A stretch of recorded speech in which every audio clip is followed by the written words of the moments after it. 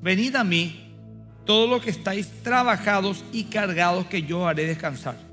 Llevad mi yugo sobre vosotros y aprended de mí, que soy manso y humilde de corazón, y hallaréis descanso para vuestras almas. Porque mi yugo es fácil y ligera mi carga. El contexto viene de dos capítulos atrás, más donde Jesús le confronta a los fariseos de poner cargas pesadas en el pueblo, mientras ellos ni siquiera se atrevían a tocar con un dedo las cargas que ponían sobre el pueblo.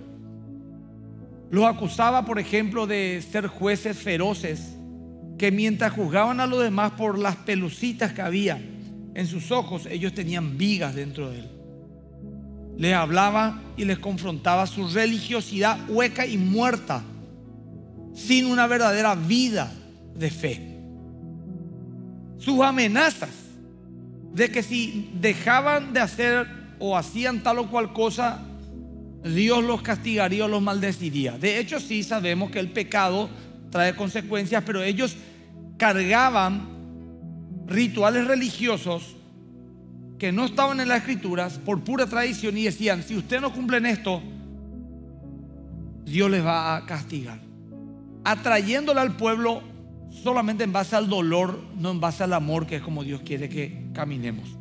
Solo poner un ejemplo de que si una mujer dice, por ejemplo, yo le soy fiel a mi marido porque de descubrirme una infidelidad me mataría y ella por temor le es fiel, es una condición que por lo menos a mí no me gustaría estar. Yo quisiera que mi esposa diga, soy fiel a mi esposo porque lo amo y no quiero causarle ni un daño. No necesito ser controlada ni amenazada para darle a él lo que él se merece. Ese es el tipo de amor comprometido que queremos. Pero la religiosidad te quiere atar en base al temor, no en base al amor, al compromiso de amor voluntario que tenemos que tener todos con el Señor.